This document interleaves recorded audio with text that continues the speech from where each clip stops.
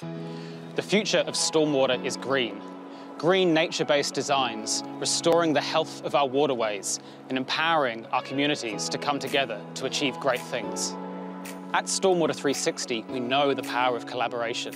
For nearly three decades, we have worked as a technology partner, collaborating to deliver simple stormwater solutions for complex projects across the Motu.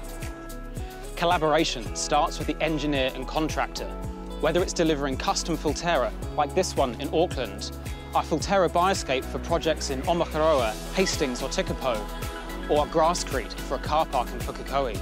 Collaboration starts with the community. The Department of Conservation drew together the Conservation Volunteers New Zealand and the whole project team to deliver an outstanding living roof in Dolomite Point.